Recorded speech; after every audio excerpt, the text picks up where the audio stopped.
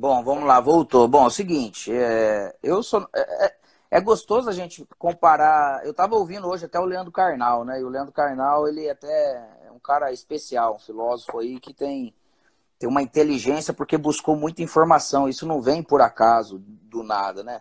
E ele bem que falando nesse momento, até que a gente de repente tem algumas dificuldades, alguns problemas, a gente tem que, que procurar enxergar realmente algumas oportunidades. Às vezes a gente se limita um pouco, dependendo da onde a gente veio, é, é, da classe social que a gente veio. Então eu sou um cara criado no sítio até os sete anos de idade, quase. É, depois numa cidade pequena chamada Santa Amélia, eu sou nascido em Cornélio Procópio. Depois morei sete anos em Campinas, aí depois acabei rodando com futebol. Mas eu joguei futsal dos 7 anos de idade aos 16 e só futsal. Né? Eu respirei futebol ao ponto de que eu saía para treinar é, lá em Santa Amélia. Eu tinha um treinador chamado João Gordo e o Socorro, o cara que cuidava da gente, que era o secretário de esportes.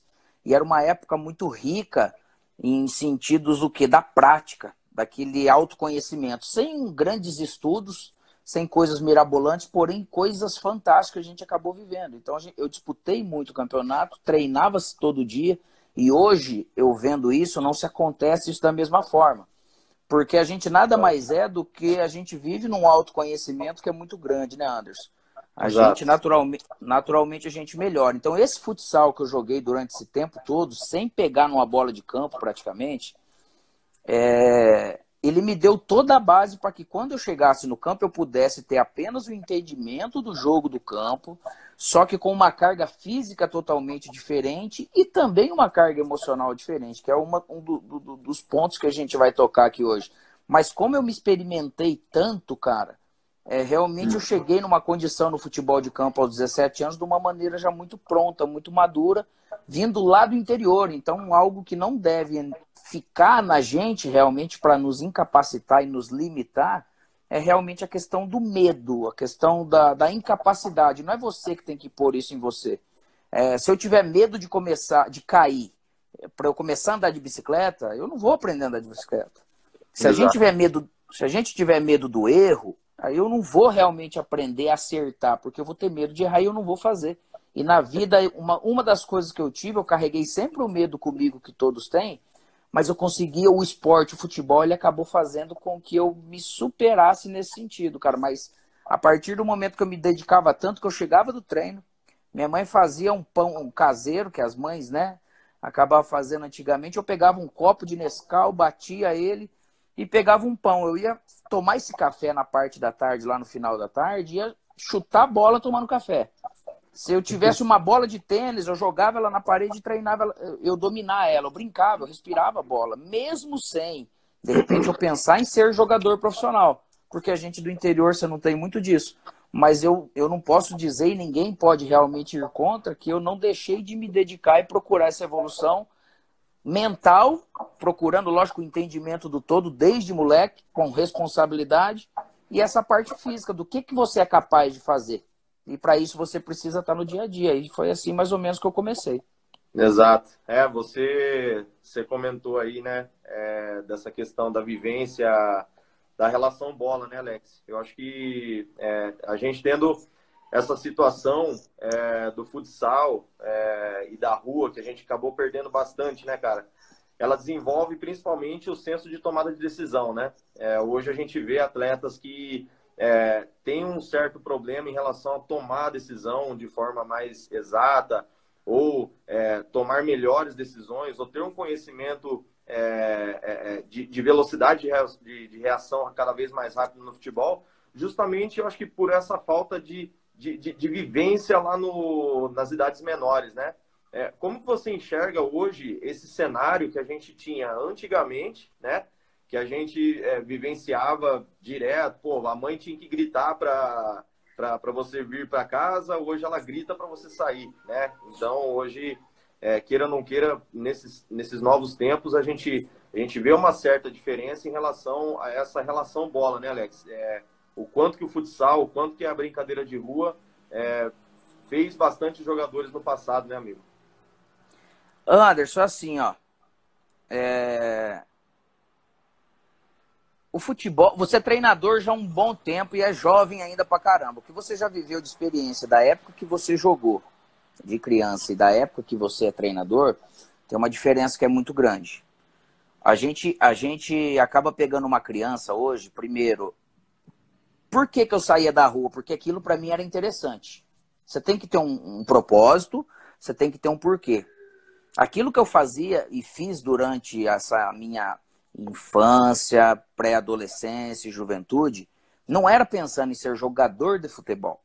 Porém, aí vem uma questão que a gente pode falar do futebol especificamente, mas o esporte no geral, ele, ele educa, né? Ele forma. Porque, igual eu falei, ele te leva realmente uma condição extrema sempre.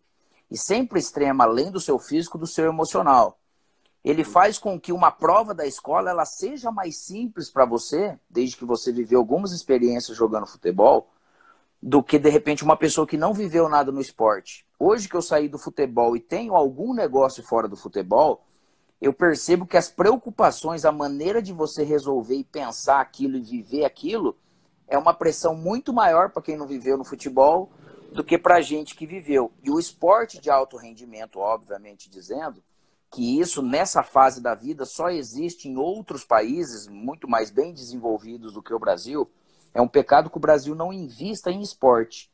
Da minha época, lógico que tinha uma educação de uma época de uma violência muito mais tranquila, menos droga, menos oferta, sim. Apesar de eu ter visto muita, muitos amigos, colegas, até na parte profissional depois, mexendo com a maconha, com a cocaína, com a bebida, com a noitada, com qualquer coisa desse jeito.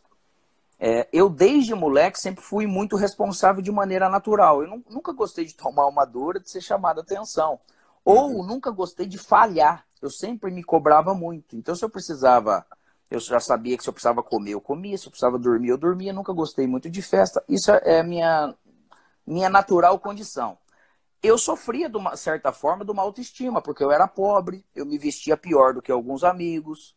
O futebol ele iguala tudo isso, o esporte, né? É lógico que na vida ninguém é melhor do que ninguém, mas isso faz diferença na hora de se comprar o melhor chiclete, o melhor refrigerante, naquela ideia de você ser visto, ser notado pelaquela menininha que você gosta, pelo professor, pelo pai e a mãe, pelo seu tio, enfim, por aí vai. O esporte, o futebol em si, ele me deu realmente a condição de, de hoje poder sentar com qualquer pessoa, que eu sempre gostei das histórias, seja ela de qual classe social, de qualquer, de repente, cargo que ela ocupe hoje na vida. Então, ele é transformador também. Nesse sentido, ele, ele te testa ao ponto de, de repente, você aprender se você vai desistir em alguma situação ou se você vai realmente levar. Se você vai em cima de uma dura sendo certa ou errada, se você vai de repente sucumbir aquilo ou não. Ele Exato. te faz, ele te faz praticar e exercitar o acerto e o erro para que você aprenda a tomar melhores decisões. A gente até comentou no curso, sempre que a gente conversa, por que, que o esporte dos Estados Unidos, ou Estados Unidos como país, ele tudo que é esporte, ele é um negócio tão fantástico, os caras ganham tão, tanto dinheiro, é, tem uma repercussão e uma abrangência tão grande e muda a vida de tantas pessoas também simples e humildes. Porque eles investem na educação da pessoa, do ser humano, para poder chegar, para poder depois esse cara chegar nessa fase dele ter que tomar sua decisão, Anderson, uhum. ele está melhor preparado para tomar sua decisão. Então eu acho que eu tive a felicidade de vir de uma época muito boa onde a minha mãe permitia que eu ficasse uma semana fora de casa nos jogos escolares, dormindo no chão de um colégio, para disputar aquele campeonato. Ela hum. entendia que aquilo era bom porque ela tinha boas pessoas comandando isso, né? É, e isso me, isso me fez crescer. Eu tinha que tomar banho gelado, eu tinha que me servir a comida, eu tinha que lavar meu prato, eu tinha que arrumar minha cama, eu tinha que dobrar minha roupa.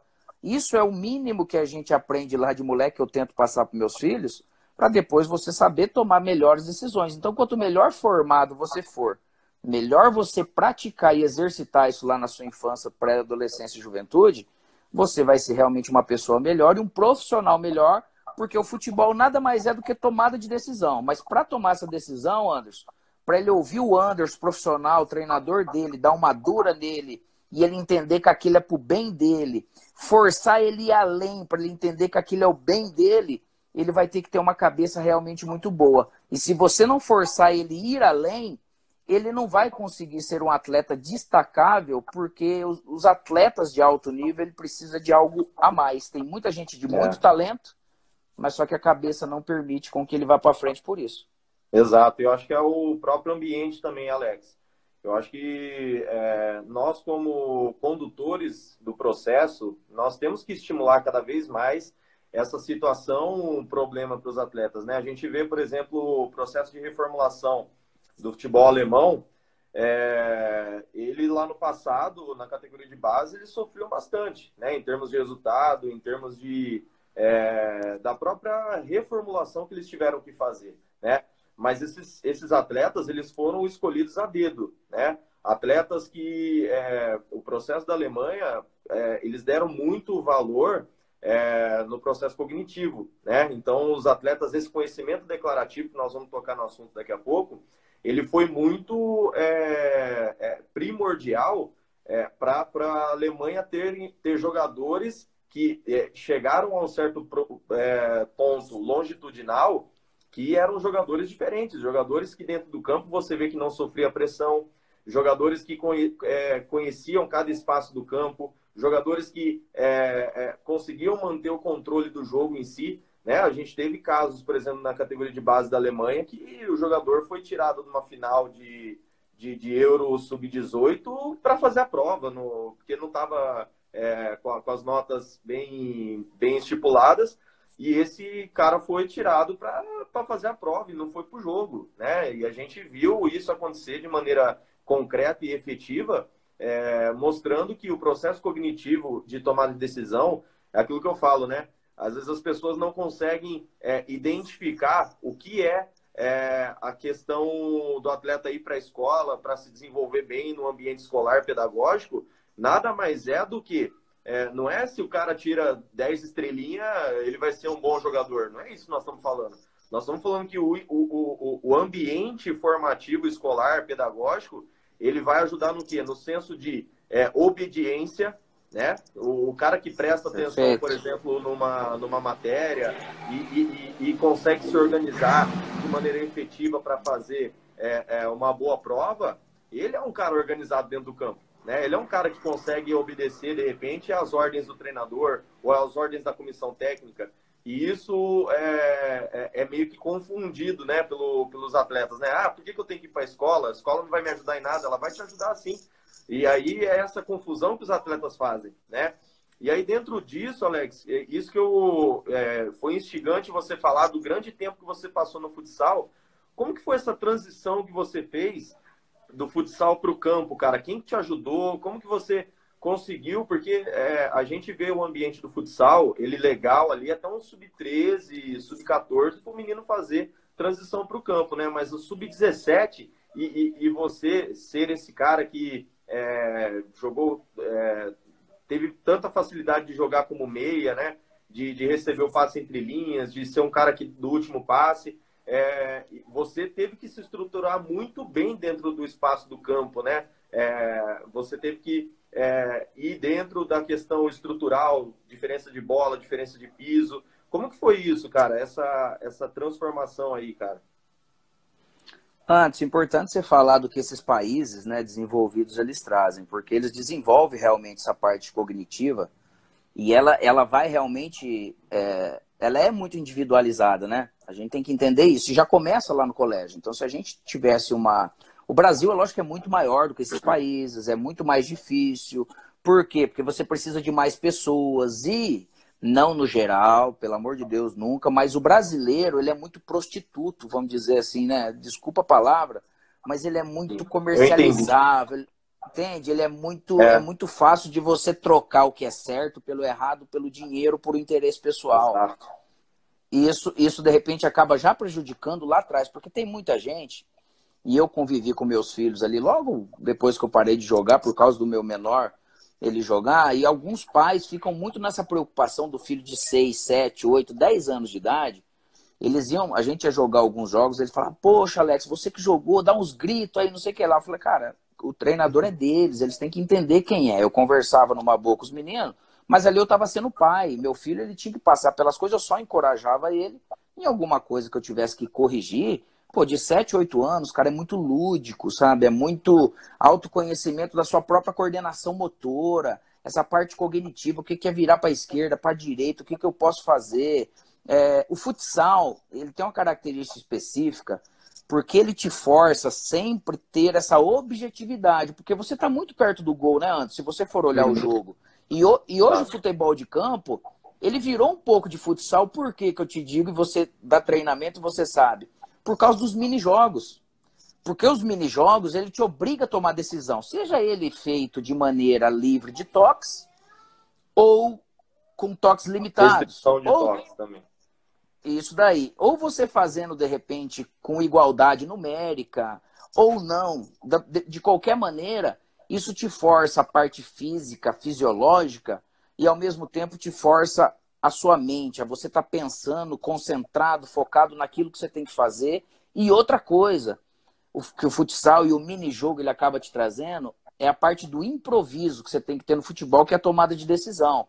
É a coragem do um contra um, seja para você atacar ou para você defender.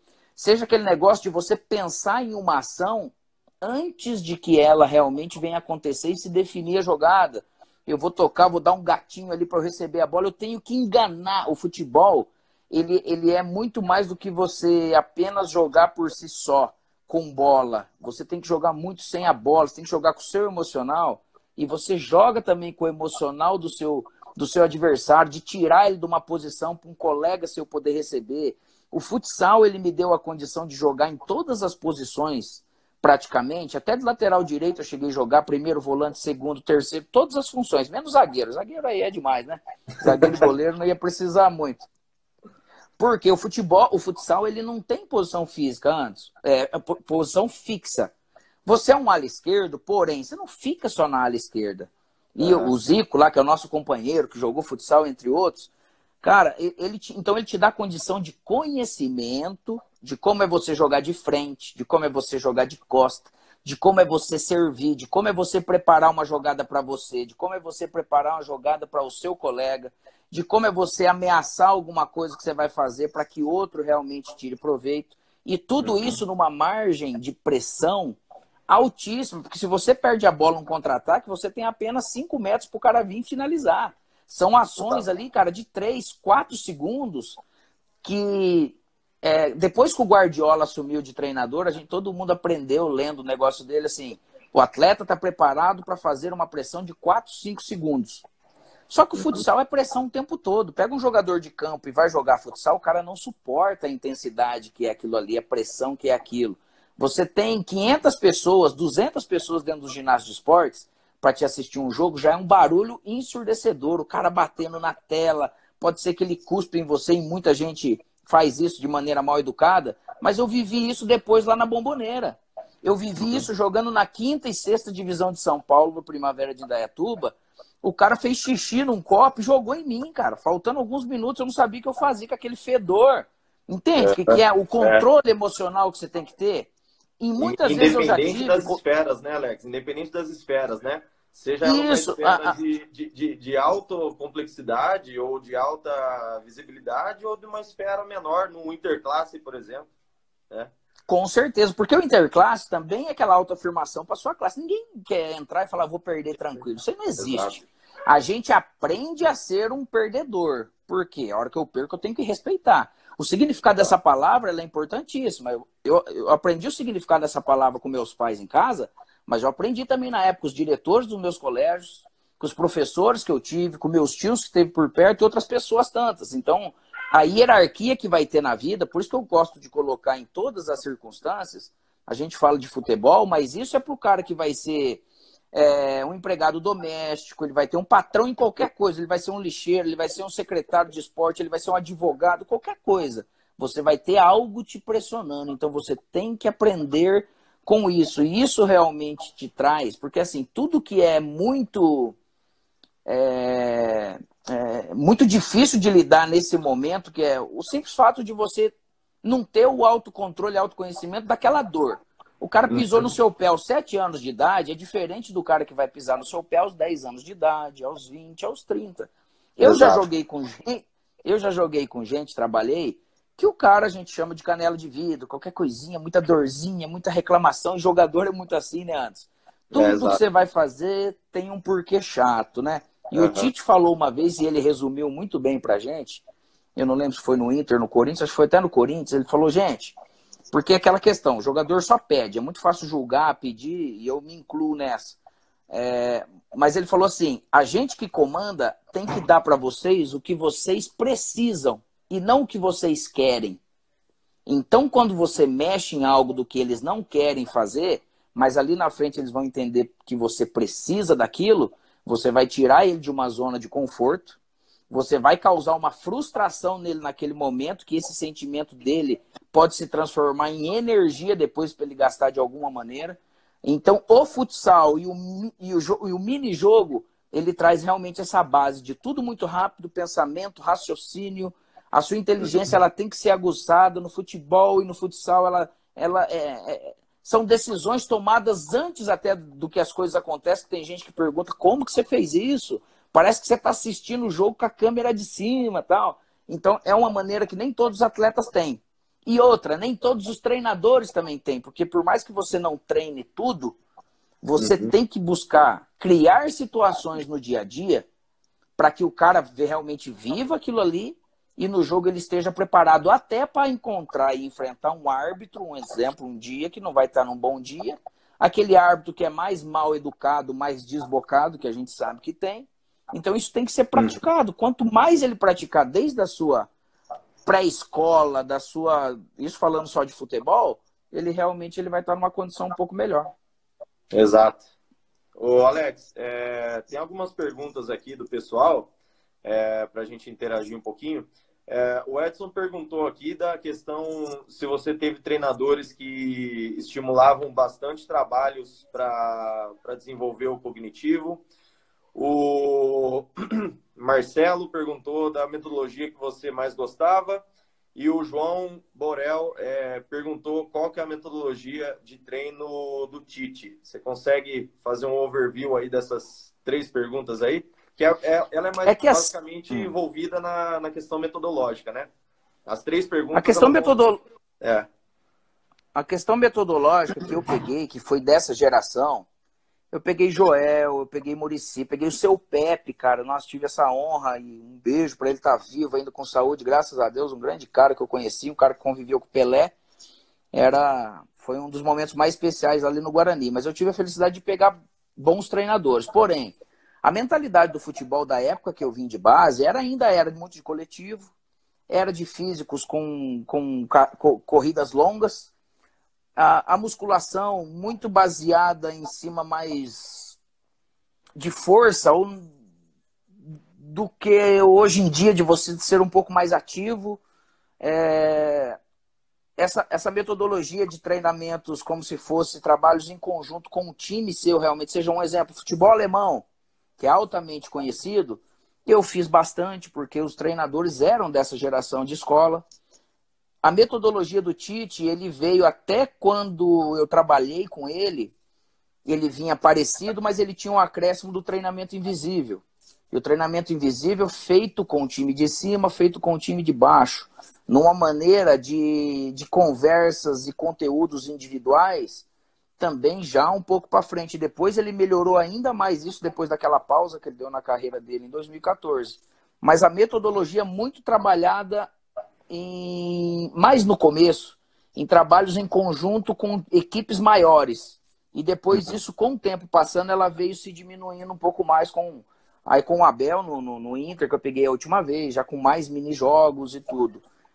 Eles tinham um foco no cognitivo? Eu acho até que não. Isso no futebol brasileiro, do que eu vi, vivi e ouço de grandes caras que foi, foram meus ídolos, assim, dessas décadas para trás, é, pelo talento do futebol brasileiro, ele também foi muito. O jogador brasileiro ele é muito autodidata. Eu acho que se a gente tivesse realmente juntado algumas ainda técnicas, metodologias de treinamentos melhores, a gente poderia ainda ter um atleta, ter tido né, um atleta ainda melhor, mas era também tudo referente àquilo que a gente vivia no tempo. Não é uma condenação isso, é uma constatação que eu digo, pensando sempre naquilo que poderia ter sido um pouco melhor, mas nada muito específico. Até porque no profissional, por mais que você faça algo no cognitivo, eu peguei na base o treinador que fazia a gente petecar a bola. Chato, mas era necessário. Eu uhum. falo isso pro meu filho hoje de 8 anos de idade. Você tem que fazer isso, porque esse trabalho chato agora, de fazer o simples, que vai te ajudar amanhã a ter algum controle dos, dos desses movimentos. Então, eu acredito que hoje, daqui para frente, a gente tem essa obrigação de melhorar ainda mais essa parte de preparação em todos os sentidos para que o atleta também ele evolua e produza muito mais. Uhum. É, também visando, Anderson, algo que eu acho que vai depender sempre de uma captação melhor. O Brasil, acho que parou de garimpar tão bem quanto já foi, porque é, é, nítido que a gente diminuiu os talentos natos, mais inteligentes, mais vividos, com menos futebol de rua e tudo. Então, isso hoje nos clubes a gente tem que fazer um pouco mais. Exato. E só, só a gente complementando, né? É, é, batendo mais uma vez nessa tecla é, de que você fez essa transição do futsal para o campo aí com 17 anos. Eu esqueci é, dessa. É, é, porque assim, na verdade, é, tem alguns movimentos dentro do campo que eles facilitam para você ter uma, uma boa jogada, para você ter um posicionamento corporal vantajoso, para criar vantagem sobre o adversário é, para você ajustar pé de apoio, para você conseguir ter é, é, uma, uma visão melhor do jogo em relação à estruturação do espaço que você está. É, teve alguém diferencial é, ou você acha que a vivência do próprio futsal fez com que você se alinhasse tão bem é, dentro dos aspectos de estruturação de espaço, relação bola e comunicação das, das ações, que são os, os aspectos dos jogos esportivos coletivos aí, Alex? Cara, nada muito específico antes, para te falar a verdade. É... Porque o futebol, igual eu falo que eu peguei, não tem muito desse desenvolvimento seu individual. Sabendo que eu venho do futsal, de repente eu esperava e até poderia, apesar que eu peguei um grande treinador chamado Adailto Ladeira. Foi meu primeiro treinador de campo. É, um dos maior, é o maior vencedor ladeira. da Copinha.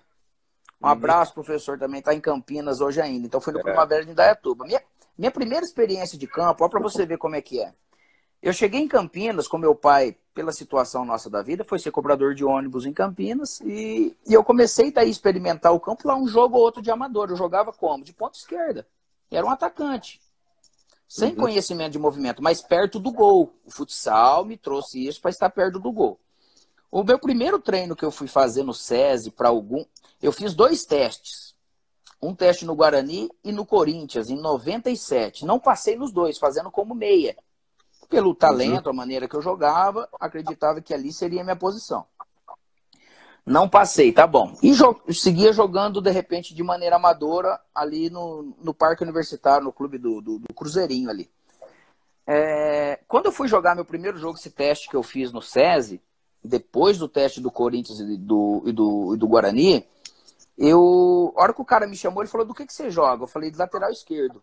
Eu falei de ponta esquerda. Ele falou: você não faz a lateral ali pra gente? Eu falei: pô, faço, não sei nem como que é, né? Antes, porque... Mas eu faço. A grande diferença disso que eu percebi é o seguinte: a minha base do futsal, naquela época, a gente não tinha academia no interior, não fazia desenvolvimento muscular. E, e o meu desenvolvimento fisiológico, bi biológico, tudo, ele veio depois, ele veio mais tardio a minha maturação. Eu, a dificuldade para eu percorrer esses 100 metros de coisa para eu chegar na linha de fundo, meu Deus do céu, imagina, faltava gás para mim, para fazer uhum. trabalhos tão, tão mais volumosos do que era no futsal, né? Então, essa foi uma grande dificuldade que eu tive. A facilidade que eu encontrei, realmente, porque no futsal eu tinha sempre alguém me pressionando o tempo todo. E no campo eu conseguia lidar com isso de maneira muito tranquila. Com o Ladeira, eu ainda treinava só de lateral esquerdo. Depois saiu o Ladeira, veio o Pardal. Pardal. Um treinador no Trabalhei interior de São é, ele me chamava de juvenal ainda, era juvenil do profissional. O que, que ele fez, Anderson, pensando, né? Falou, poxa, o menino ele vem de um jogo que é um campo reduzido, acostumado a jogar pressionado, e tem uma qualidade de domínio, de passe, de raciocínio, tudo. O que, que ele fez? Ele me colocou de segundo volante. E comecei a treinar de segundo volante. Você vê, na Vargem eu fui jogar a primeira experiência de atacante, depois comecei de lateral esquerdo, e já estava no meio de campo. Para quem veio do futsal, não é muito comum isso, não é fácil, cara.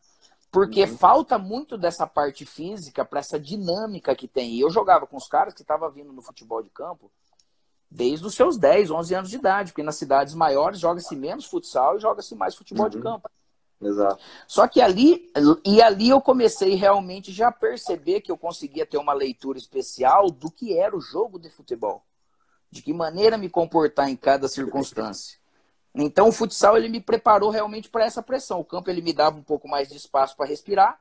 Porém, as profundidades, todo esse potencial ali acabou sendo obviamente muito importante para mim aos 17 anos, para que chegasse nesse final de 99, para você ter ideia, em 97 eu tinha feito um teste no Guarani e não tinha passado. Uhum. E o treinador que não me passou foi o Donizete, que ele é hiper famoso, mais de 40 anos de uhum. profissão. Cara fantástico, tanto de gente que ele já descobriu de talento, enfim. É, hoje, hoje, ele trabalha na Linense. Ele Exato. acabou me avalizando, ele acabou me avalizando para ir para o Guarani. E hoje a gente até brinca, fala, pô, professor, aquele dia do teste, hein, você tava com o olho meio ruim, né? Fala, não, você deve ter ido. Você tava deve ter ido muito Alex. mal, Alex. É, ele tava com catarata. Aquele dia eu falei, é nada, aquele dia já tinha os caras da carta marcada, né? Enfim. Então, e ali chegando no Guarani, eu encontrei um nível mais alto ainda, Anderson, que era o cara que tinha de jogador ali o... Guarani quando eu cheguei. O ambiente era um cel... do Guarani naquela época era Impressionante, cara. A gente tem o grupo do Pombal aqui, que muito, de repente, alguns devem estar acompanhando. Uhum. Cara, era jogador de seleção de base o tempo todo. Então, Exato. essas pessoas me ajudaram a evoluir num tanto, cara. Porque quando você trabalha com alguém que é tão bom ou melhor que você, é melhor, né, Antes? Porque o que ele Exato. faz, você vai ter que acompanhar. O trabalho Te brando. Né? Te desenvolve. O trabalho né? brando. Isso, tudo que é muito mais fácil na vida ele te acovarda, né? Porque ele te, a, te faz ter uma falsa ilusão que você está evoluindo e você não está, você estaciona. Então a minha carreira ela teve realmente algo de uma maneira fantástica para trazer tudo isso do futsal, mesmo de maneira tardia e não comum. É, uhum. E a gente não vê que isso seja comum mesmo, porque é difícil quem sai do futsal e acaba dando certo no futebol de campo. Mas ele me preparou muito para o um entendimento do todo. Uhum. Exato. Entendi. Pô, que, que, que história, né, Alex? A gente, pô, tem tanta coisa para falar com você, cara, tanta vivência. O cara que é, vai, você vai sair muito na frente em relação a, a essa parte profissional que você está indo atrás agora, porque essa vivência a gente, a gente não conquista num curso, né, cara? Você vê, é, você, você falou de. Nós estamos aqui há, há 38 minutos, cara, falando de coisas que a gente não, não escuta na, na, na teoria, né, cara? E, cara, eu queria estimular uma. É, é um assunto polêmico, é uma situação é, que é, algumas pessoas são contra, algumas pessoas é, são a favor. Eu queria saber, cara, é, da tua opinião em relação a, ao dom, né? Você acha que o atleta, ele, ele o cara que, que chega no, no futebol profissional, é, é o cara que tem um dom, é o cara que nasceu com aquilo, ou você acha que é, a vivência dele, o ambiente que ele vive, né, o, o, o contextual dele, é, faz com que ele é, adquira esses, esses conhecimentos, é, adquira essa. É, você tocou no, no, ponto da resiliência, né, cara? Que é, que é a situação de auto se conhecer, né? De não querer perder um jogo. É, você acha que o cara já vem com, com essa bagagem? Você acha que o cara nasce com isso? Ou você acha que o ambiente formativo dele faz com que ele é, chegue a esse estado é, de perfeição, praticamente, para chegar no profissional hoje em dia, né? Ô Anderson, isso é uma baita questão. E, igual você falou, pode ser polêmica, mas muito, muito bom de discutir. Eu acho sim que tem o talento nato que realmente tem os mais especiais e os menos. Tem as cabeças mais especiais e outras, de repente, um pouco menos. Porque tem gente que consegue, através. Tem gente que, de repente, não necessita tanto de tanto trabalho, de tanta sintonia fina daquelas situações do que outras. Tem gente que você vai dar uma palestra, vai mostrar um treinamento, ele entende de forma mais rápida e abrangente, ele até te acrescenta no seu trabalho do que de repente outros. Aí tem aquele ditado no futebol que a gente usa, pô, gente, vamos comer peixe, né? Tá todo mundo dormindo. sabe? É. Vão tirar a cama das costas. Então tem um pouco disso. Mas isso eu acho que é, é totalmente trabalhado. Eu acho que é totalmente possível de você colocar situações. Aí que está a responsabilidade dos professores. Não é à toa que você vai lá e se forma para você começar a dar aula numa pré-escola para um bebê, num berçário.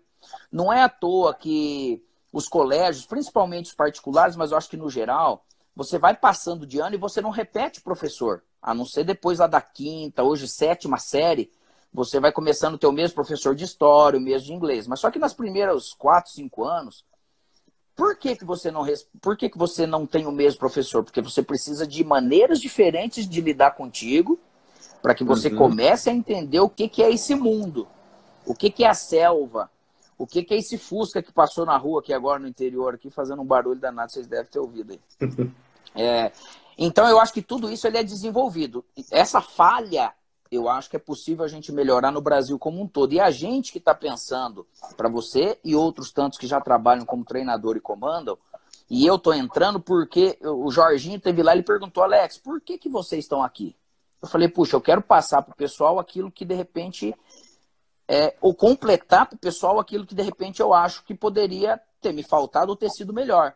Então a gente tem uhum. que ter uhum. essa exigência de aprendizagem, da gente ter conteúdo para você passar. Eu, eu não eu não eu não acredito que numa hora, uma hora e meia de trabalho de campo, de quadra, seja onde for, você não consiga fazer pelo menos meia dúzia de ações, seja em situação de jogo, que eu acho que tem sempre que ser, mas você tem como fazer desde o seu aquecimento, é algo que realmente venha desenvolver isso. Venha desenvolver essa motricidade, o é. raciocínio, o seu domínio, a agilidade em você fazer isso. Você pode começar fazendo de uma maneira mais lenta e você agilizar.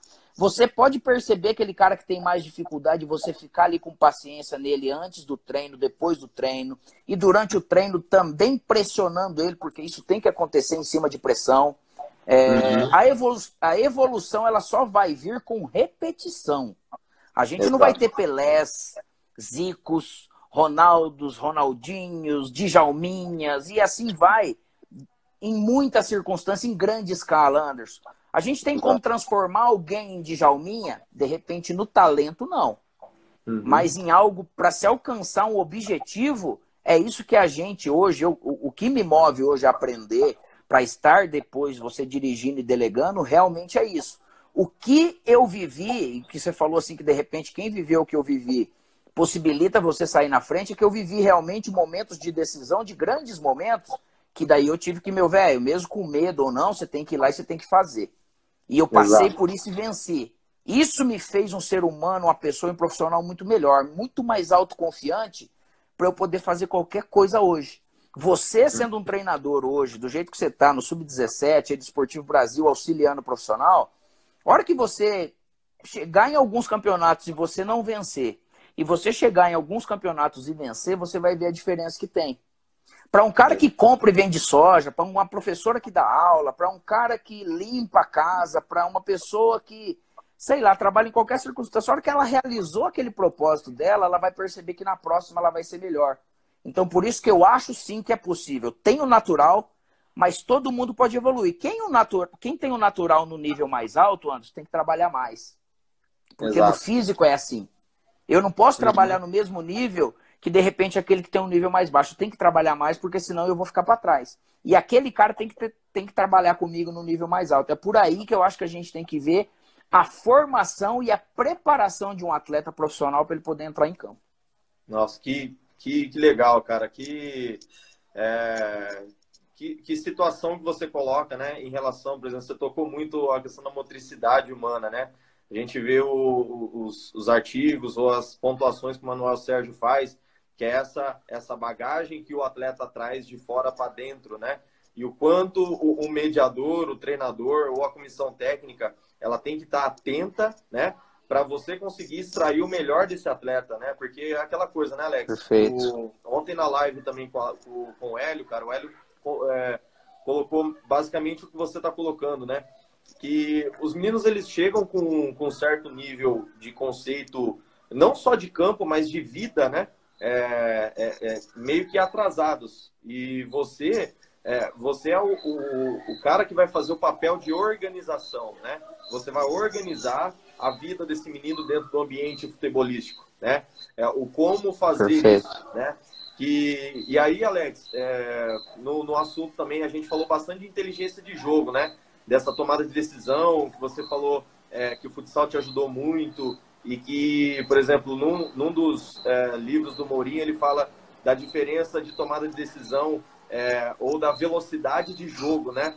O quanto que o, um cara com toda essa vivência que teve na categoria de base, ou no, no futsal, ou no torneiozinho da esquina, é, o quanto que esse cara aprendeu a tomar decisões mais rápidas e qualificadas, né? A gente falou muito dessa situação. E aí, cara, é, tocando no outro assunto, que é, o, que é o assunto principal também da live, que é o conhecimento declarativo, né, Alex? O conhecimento declarativo é aquele que é, refere-se ao saber o que fazer em certas situações, né? Você foi um cara que desde pequeno era crítico, você você é era um cara que é, buscava saber do treino, do, do treino o que, que, que, que aquele treino iria te ajudar, ou você perguntava bastante para o seu preparador físico é, o porquê daquilo? Você era um cara bem crítico nisso e isso te ajudou? Ou você aprendeu a ser? Como que foi essa vivência tua em relação ao conhecimento declarativo, Alex? O, o, lado, o lado crítico, acho que ele tem que existir. Só que o crítico é bom e o tempo nos ensina isso. O crítico ele tem que ser, Anderson, quando você está pensando no sentido crítico em prol do todo certo? Uhum. A gente tem um coletivo, não adianta eu como atleta ou eu como treinador achar que aquilo está sendo só bom porque é bom para mim. Eu tenho que pensar naquilo que é bom para todo mundo. Então, lógico que algumas vezes eu posso ter errado porque eu tinha a visão daquele trabalho, igual eu te falei. Eu sempre tive o entendimento muito fácil disso e procurava acrescentar em cima disso. Muitos momentos, às vezes, dentro de campo, que o treinador, igual eu te falei, não tem como treinar tudo mas eu também não peguei treinadores tão, tão é, é, preocupados com aquele detalhe de momento. Um exemplo, você está assistindo um jogo de um adversário e você vai passar para sua equipe. Eu estou me uhum. preparando para um jogo. Se eu estou vendo que essa equipe ela tem uma linha de quatro muito bem formada, eu posso de repente pensar que essa linha de quatro ela pode estar bem formada durante alguma parte do jogo, eles se diz, ele, ele, eles de repente se, se transformam em algo para se transformar em erro em dois, três segundos. Se o cara de repente puxa ele para beirada, para trás ou para frente, é, é, coisa de detalhe eu sempre tive comigo isso. Eu vendo um vídeo, eu pegando a informação dos meus treinadores, eu realmente me preocupava em procurar algo além, porque eu sabia que ia precisar de algo. Às vezes, muitas vezes bateu com isso que eles me passavam, mas eu gostaria de saber o porquê. E outra coisa, tem um plano B, professor?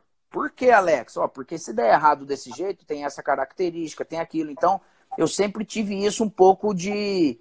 Não de intransigência, não. Sempre com respeito. O Tite até, ele, ele até fala assim, pô, Alex, é um dos caras mais chatos que eu peguei para trabalhar. Mas é porque às vezes você enxerga e você quer ajudar, você quer contribuir.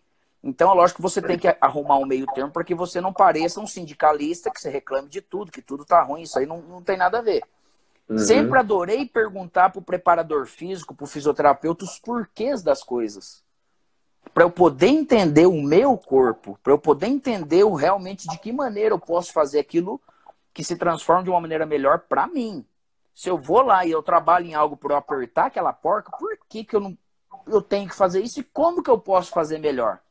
Se eu tenho que fazer uma ultrapassagem por fora, por que, que tem que ser por fora nesse momento e não pode ser por dentro? Por Exato. que, que o cara, nesse momento, que porque assim, você como treinador, às vezes você treina o cara para uma coisa específica, chega na hora do jogo, o cara fala assim, pô, Muda. professor, você me pediu para fazer isso, mas Exato. só que a coisa mudou.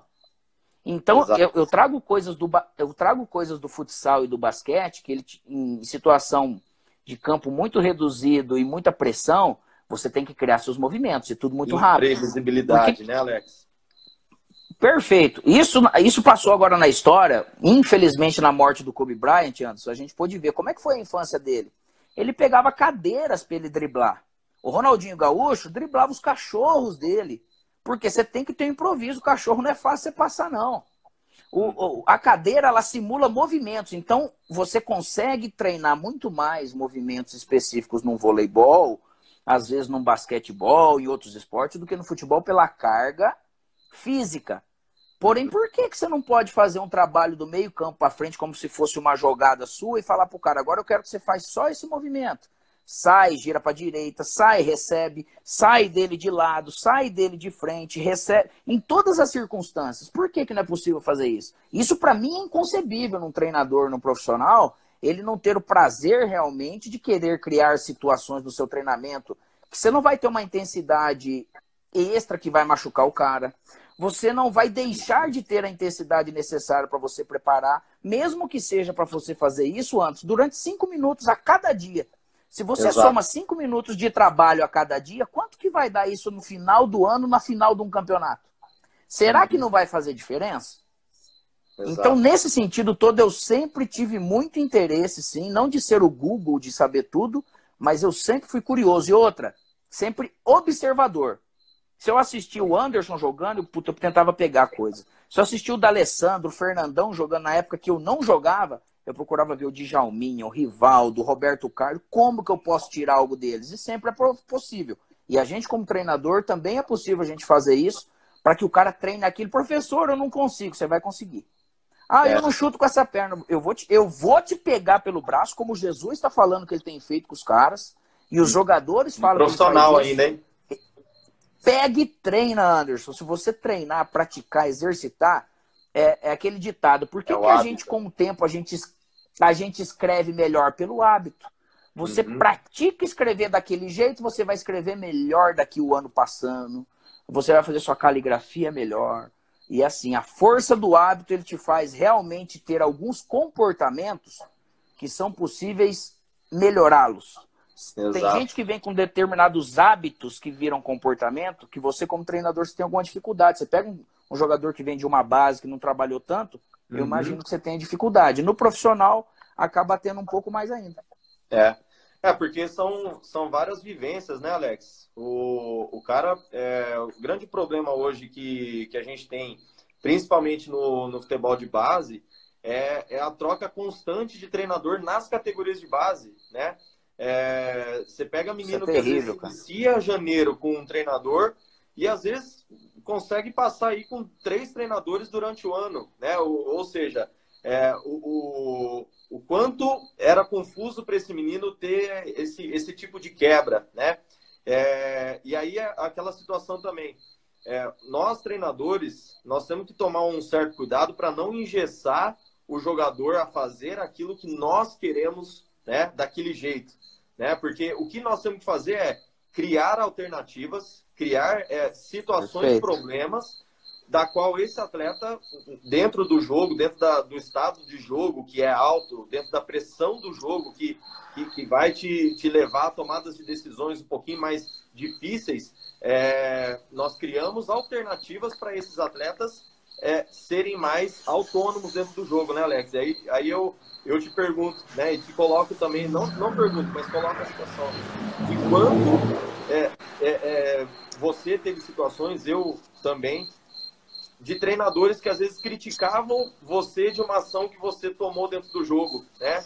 É, e aí não Com foi certeza. da forma que ele queria, mas você acabou de certa forma resolvendo o problema do jeito que você fazia. Será que não é um, um pouquinho de orgulho do treinador, um pouquinho de vaidade, de não foi aquilo que eu ensinei, então não, não tá saindo do jeito que eu quero, e aí o cara resolveu o problema, né?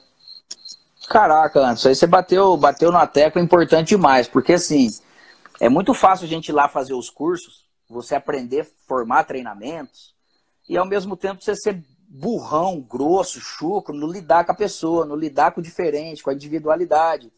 No, um exemplo, o coletivo é ruim? Não é que o coletivo é ruim, mas ele pode ser muito melhor do que você apenas deixar o pessoal jogar.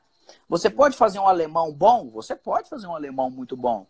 Você pode realmente ter é, a sensibilidade de entender que se o cara tomou uma decisão certa, você desafiou ele a fazer isso, ele foi lá e passou por essa etapa, você tem que bater palma pro cara. Fala, você tem realmente essa condição. Você dá algumas bases, mas na hora ele vai falar, professor, eu resolvi esse problema desse jeito. Tá bom. Se você resolveu o problema, é o que eu queria.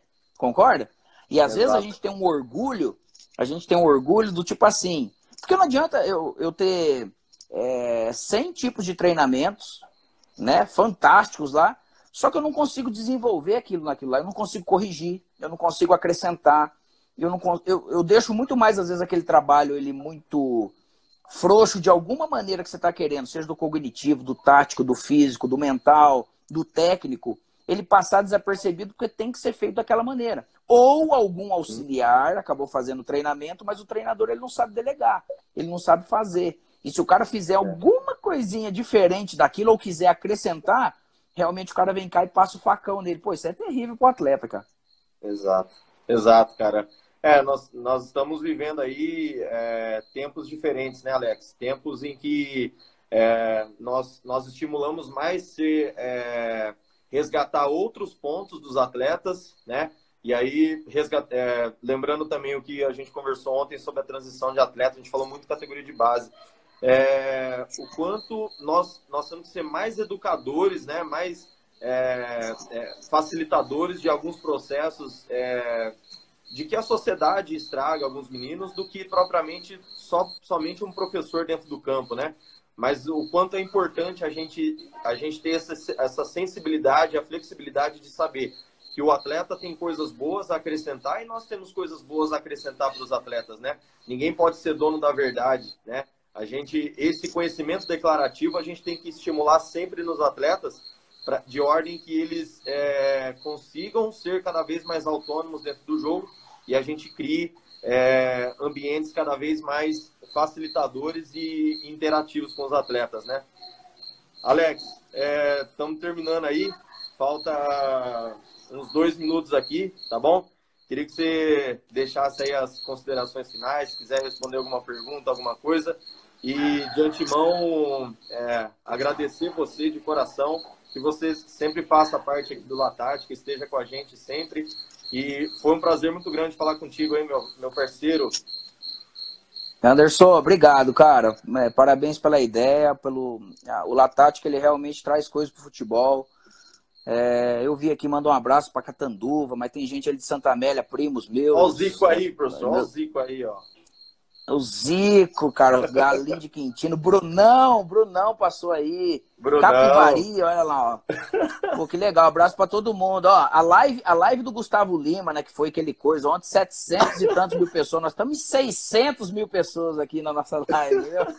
Mas é muito bom, cara. Eu acho o seguinte, cara, futebol a gente tem que pensar, nós lidamos com o ser humano.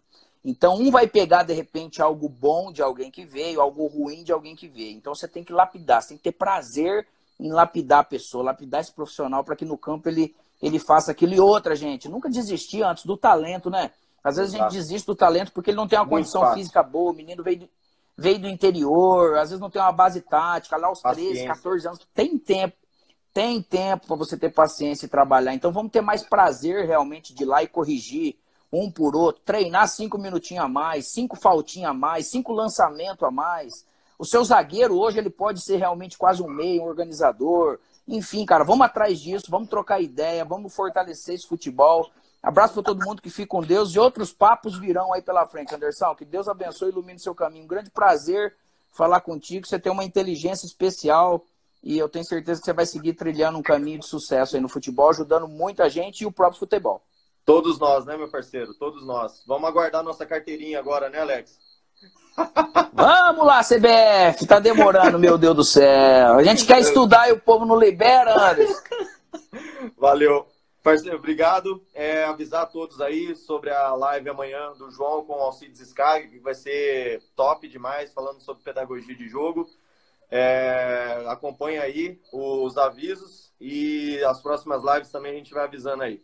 Valeu, meu amigo. Obrigado Anderson, pela presença. Anderson, só para terminar, o Zé Elias, um amigo meu que falou, nós chutava até bola de areia, cara. Não é à toa que o cara chuta forte, não, entendeu? Não é sorte, gente. Vamos trabalhar pé no pesado. Isso aí. Valeu, parceiro. Um abraço a todos. Nós.